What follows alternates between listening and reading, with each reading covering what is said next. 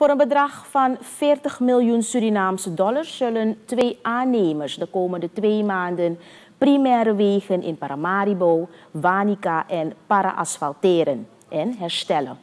Deze aanzet tot dit project was vandaag bij de ceremoniële ondertekening van de twee contracten door het ministerie van Openbare Werken en de Wegenautoriteit Suriname.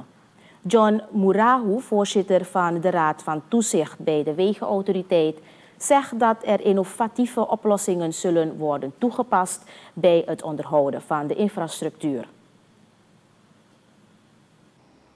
De uitvoering van deze werkzaamheden staan onder, op het onderhoudsprogramma en vallen samen met de voorbereidingen naar de te houden CARICOM staatshoofdenvergadering in de eerste week van de maand juli.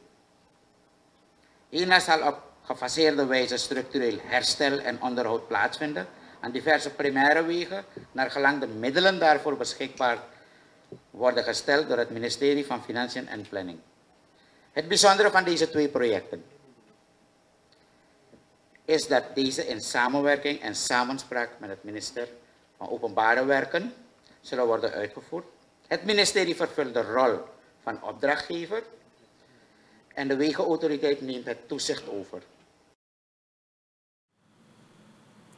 Het zijn voornamelijk de wegen van en naar de internationale luchthaven te Sandrey die nu zullen worden aangepakt.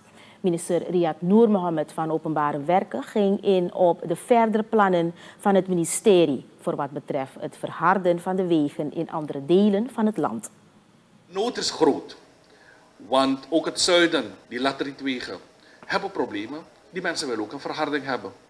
Toch? Maar gisteren heeft de regering ook goedgekeurd. Deze, mag het weten, ik heb het al voor u. Dat we de weg Sanderij, Apura, uh, die laterietweg in PPP-verband gaan uitvoeren. Gisteren is het besluit goedgekeurd, dat had ik beloofd. En we gaan nu de volgende stap zetten dat de bedrijven een overeenkomst gaan tekenen met de staat. Uh, misschien met de wegen, ik weet niet wat het wordt.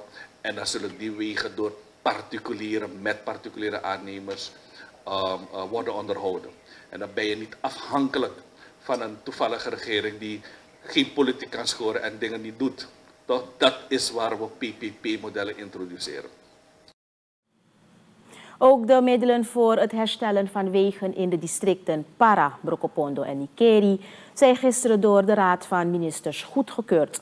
In totaal is er ongeveer 100 miljoen SRD goedgekeurd voor de projecten, waarbij ook het directoraat Openbaar Groen werkzaamheden zal uitvoeren aan onder andere het verkeersmeubilair.